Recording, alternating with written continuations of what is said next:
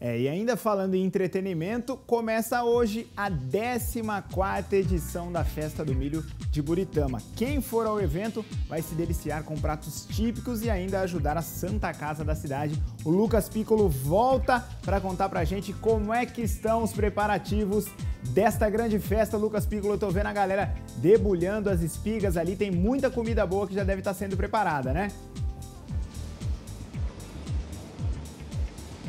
Rafa, a preparação aqui já está a todo vapor.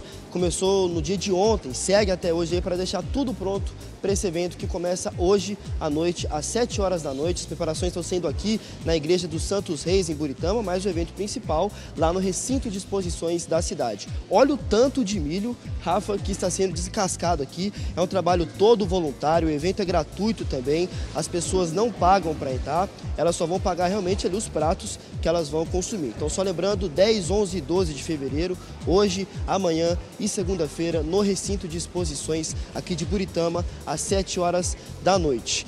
É, quem for entrar aqui para consumir, claro, esses alimentos, Rafa, como eu disse, vai ter que pagar, mas é uma causa mais do que especial, não é simplesmente para consumir esses alimentos com milho, porque todo esse valor arrecadado vai ser destinado para a área da saúde aqui da cidade de Buritama. Quem vai conversar mais com a gente sobre essa arrecadação é a Mara, ela que é nutricionista aqui da Santa Casa de Buritama.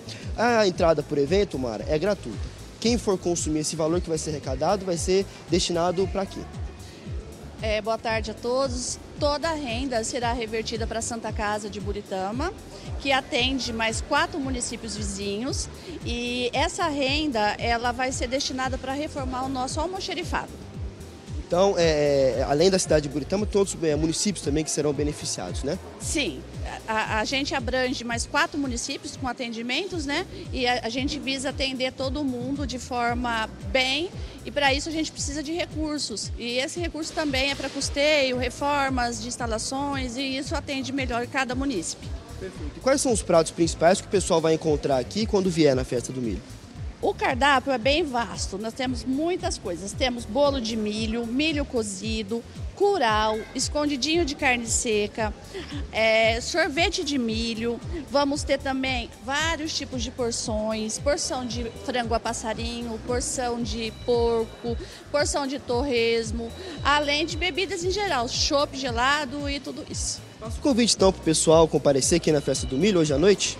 A festa do milho ela vai ser realizada no recinto de exposições, hoje, a partir das 19 horas, e ela segue até segunda-feira. Então é sábado, domingo e segunda-feira, são três dias. E eu convido todo mundo, população de Buritama, região, para vir prestigiar e ajudar, né? Visto que é um evento totalmente beneficente para a nossa Santa Casa.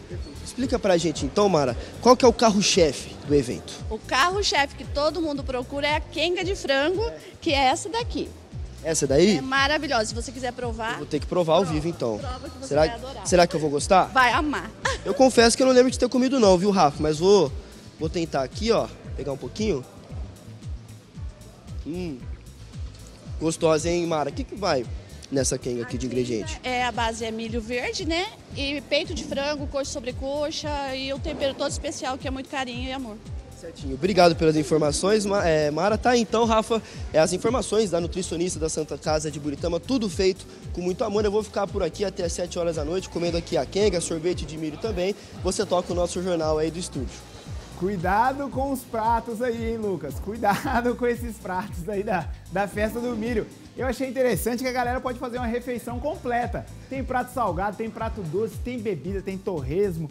Nossa, escondidinho de carne seca. Maravilhoso esse evento. Continua comendo aí que você já pôs a colher da boca no pote, vai ter que levar esse pote inteiro embora, não vai deixar aí. E reparte com o Juninho, nosso cinegrafista. É meu, é meu, é meu.